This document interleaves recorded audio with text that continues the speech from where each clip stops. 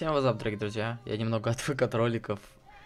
Это вторая часть оптимизации по RustMe. Push the fucking pack off of the porch or break a pound down. Get the scrap if it happen to blow, it makes a round sounds. Pussycat on my lap, push.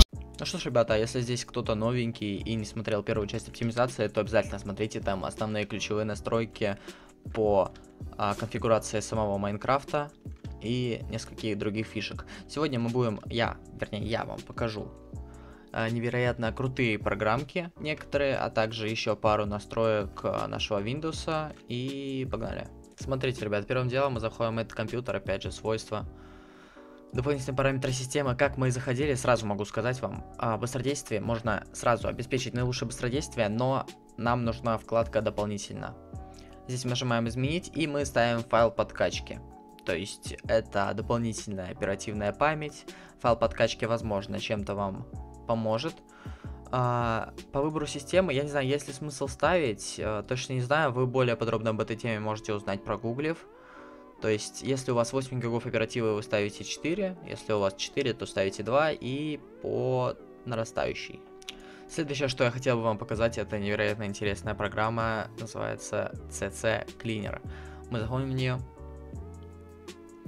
Вот, у нас здесь есть проверка здоровья, стандартная очистка, реестр, там разная тема. Грубо говоря, драйвер, драйвера мы можем скачать новые. В общем, что хотел сказать, здесь нам нужно будет проверять здоровье, а, проверять, делать стандартную очистку, которая нам нужна. При проверке здоровья выявит ненужные вам всякие программки, которые вредят вашему компьютеру и сторонние ПО. Следующее, ребят, что я хотел бы сказать, это, конечно же, что нужно заботиться о нашем железном друге.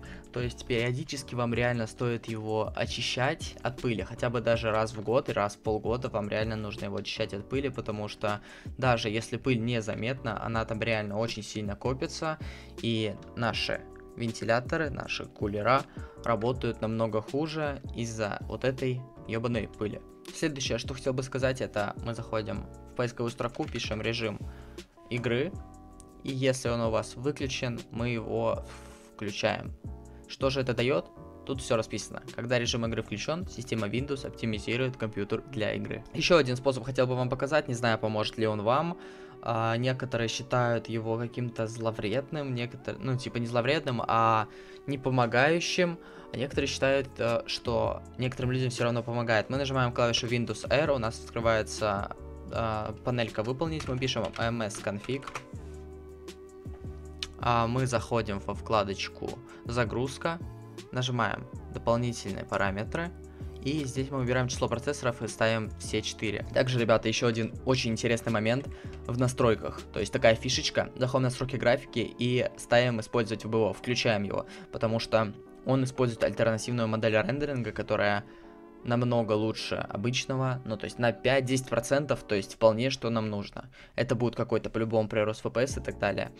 А, в принципе все. Если вам нужны какие-то еще интересные штуки, то есть типа, еще какие-то видосы по повышению FPS, то перейдите обязательно на прошлый ролик, там реально вы поднимете себе FPS около 50, может даже больше, если все сделаете правильно.